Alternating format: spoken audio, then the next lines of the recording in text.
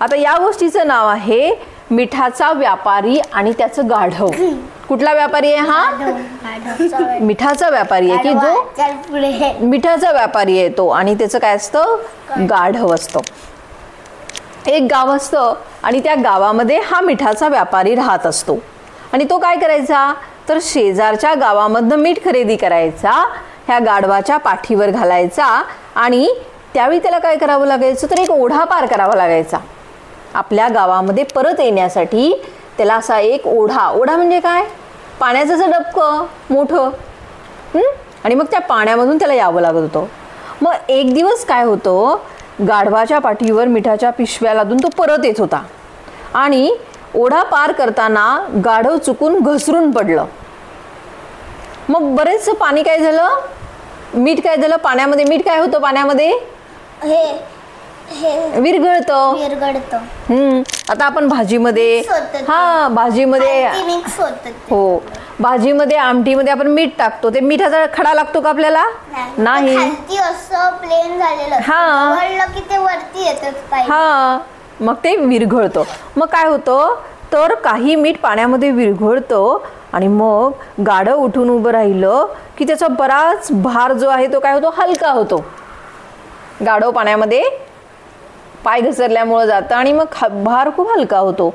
मग त्या दिवसानंतर प्रत्येक वेळेस गाढव मीठ घेऊन येत असं असायचं ना त्यावेळी ते पाण्यामध्ये पडतच असते. म्हणजे मुद्दाम वजन हलकं करायला.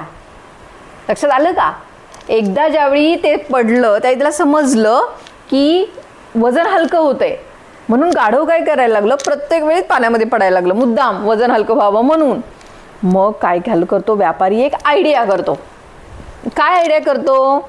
तर त्या दिवशी व्यापारी पाऊस कापसाच्या गाठी खरेदी करतो कापूस खरेदी करतो.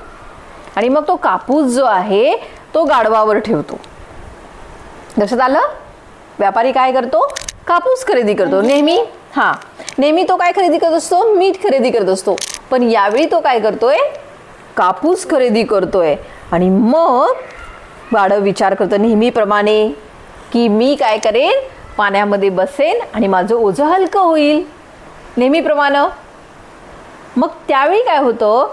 ज्यावेळी कापूस असतो त्यावेळी ज्यावेळी गाढव पाण्यामध्ये बसतं त्यावेळी ते कापूस जड होतं. बरोबर. मग त्यावेळी कापूस जो आहे तो पाणी शोषून घेतो. आणि काय होतो कापूस? थोडस कमी होतं. आणि जड होतं. वजन जास्त होतं ना. मीठ कसं? पाण्यामध्ये विरघळतं. माझ्या हातात ते थोडस जड झालं. झालं ना. तुम्ही प्रयोग करून बघा. पण ते जास्त प्रमाणात जास्त जाणवतात. जर आपण एवढ्या एवढासा कापूस घेतला तर आपल्याला फरक जाणवेल का? नाही. हे खूप मोठा कापूस म्हणजे मोठ्या प्रमाणात आहे ना कापूस? त्याच्यामुळे मग ज्यावेळी गाढव पाण्यामध्ये बसतं त्यावेळी त्याला उठताच येत नाही. कारण का? तर कापसानं पूर्ण पाणी शोषून घेतलेलं असतं आणि मग ते वज ओझं जे आहे ते खूप जड होतं. आणि त्यामुळं गाढवाला उठताच येत नाही. आणि मग व्यापारी काय करतो? गाढवाला काठीनं मारतो आणि उभं करतो. मग यानंतर मात्र गाढव पुन्हा कधीच पाण्यामध्ये तसं बसत नाही. म्हणजे या गोष्टीमधून आपण काय शिकायचं आहे की ज्यावेळी आपण कामाची टाळाटाळ करतो त्यावेळी काम वाढतं. लक्षात आलं का?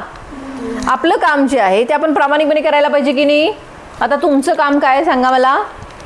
तुम-. तुमचं काम आहे काय आता? शाळेमध्ये वेळेमध्ये जाणं शाळेमध्ये आईनं दिलेला टिफिन व्यवस्थित खाणं आणि अभ्यास करणं. शिक्षक शिकवत असताना लक्ष देणं ही सगळी तुमची कामं आहेत की नाही? मग आपलं जे काम आहे ते आपण व्यवस्थित पार पाडायला पाहिजे. नाहीतर काय होतं मग? कामाची टाळाटाळ केली की काम वाढतो. आता समजा तुम्ही आत्ता अभ्यास केला नाही तर परीक्षेच्या वेळी तुम्हाला जास्त अभ्यास करावा लागणार की नाही? असं.